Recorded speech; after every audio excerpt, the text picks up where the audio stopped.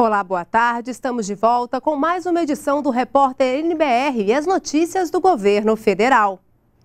O presidente Michel Temer participou hoje, no Rio de Janeiro, da abertura do Encontro Nacional de Comércio Exterior. Na cerimônia, o presidente voltou a falar que o governo não pretende mexer no imposto de renda. Há poucos dias, ou ontem ainda, se falava que nós íamos aumentar as alíquotas do imposto sobre a renda. Não é verdade. Não haverá aumento. Absolutamente não haverá aumento. Né? E, e, e, quando assumimos o governo, né, era urgente na economia um choque de transparência e de racionalidade. A, a nossa, nessa coisa da transparência, a nossa primeira preocupação foi informar os brasileiros da real situação das contas públicas e cuidar de colocá-las em ordem. O presidente Michel Temer falou também das reformas em curso no país e destacou a retomada da geração de empregos. Nós fechamos, convenhamos, o primeiro semestre com um saldo positivo na criação de postos de trabalho. E olha, é, convém registrar, foi a primeira queda do desemprego desde 2014 é, com a nossa agenda de reformas, o desemprego cairá ainda mais. A nossa agenda de reformas contempla também uma importante vertente de competitividade. Quando pensamos, por exemplo, no nosso comércio exterior, há três frentes em que estamos especialmente engajados. Já foi mencionado aqui: a desburocratização, e eu registro que nas viagens todas que fiz ao longo do tempo, como presidente da Câmara, como vice-presidente e ainda agora, o que os investidores estrangeiros mais perguntam e mais buscam eliminar são os fenômenos burocráticos do nosso sistema administrativo. Essa desburocratização foi feita largamente neste breve período do nosso governo, assim como a modernização logística e ampliação e abertura uh, de mercados. No evento, o ministro Marcos Pereira disse que a prioridade do governo é impulsionar as exportações, criar e ampliar as oportunidades de negócios para manter o crescimento sustentável da economia. Nós estamos, os senhores podem ter certeza, comprometidos com a criação de condições que garantam a retomada de um crescimento sustentável, com o aumento da produtividade, inovação e com a inserção de, da produção brasileira nas cadeias globais de valores. Nessa esteira é que nós estamos colocando todo o empenho, toda a força na total implementação do Portal Único do Comércio Exterior.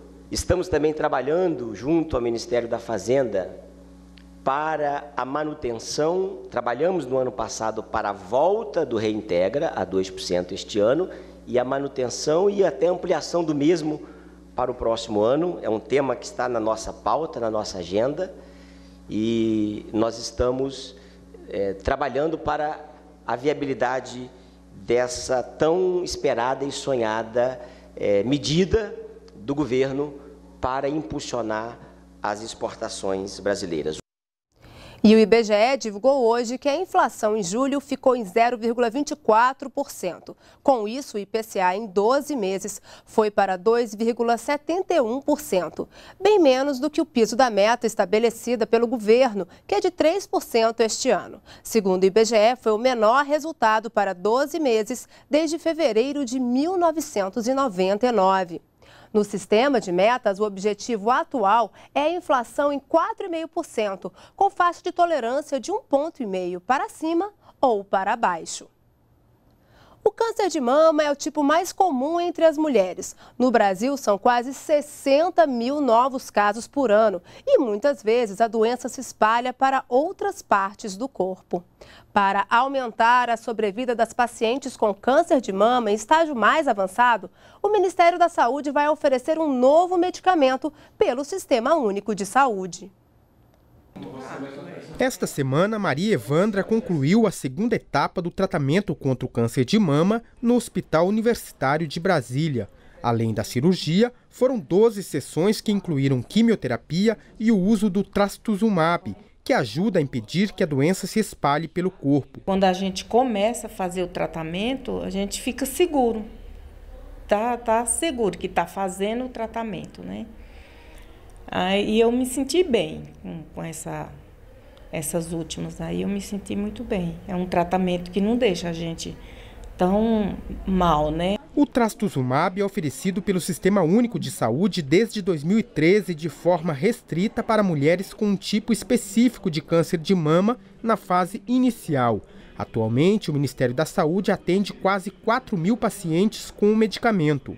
Na fase avançada, o câncer de mama se espalha pelo corpo em órgãos como fígado, pulmão, ossos e cérebro. Mas com o uso do trastuzumab, o tempo de vida dessas pacientes pode dobrar. O problema é o alto custo desse medicamento, que pode chegar a 10 mil reais a dose na rede privada de saúde. E para aumentar o tempo de vida e melhorar a saúde das mulheres com câncer de mama avançado, o governo ampliou a oferta do remédio para esse público. O produto vai estar disponível no prazo de 180 dias. O trastuzumab já estava incorporado como medicamento disponível para o SUS eh, para câncer de mama e agora está também autorizado para metástase de, de câncer. Então, quando o paciente tiver esse diagnóstico, poderá utilizar esse tratamento por conta do SUS. Para este ano, são estimados cerca de 58 mil novos casos de câncer de mama de cada 10, dois são do tipo mais agressivo, que se espalham pelo corpo. Com o tratamento com o trastuzumab, essas mulheres podem ter a chance de viver mais. Antes, sem essa medicação, a mulher com câncer de mama metastático HER2 positivo tinha em torno de um ano de sobrevida média. Significa o seguinte: depois de um ano, infelizmente, em média, essa mulher acaba falecendo. Hoje, com a disponibilização do trastuzumab, a gente consegue estender a sobrevida média dessas mulheres para em torno aí de dois anos. O repórter NBR fica por aqui. Voltamos a qualquer momento com outras informações ou em uma hora na nossa próxima edição. Você pode rever as reportagens no YouTube e toda a nossa programação está disponível na internet. Uma boa tarde para você e continue com a gente na NBR, a TV do Governo Federal.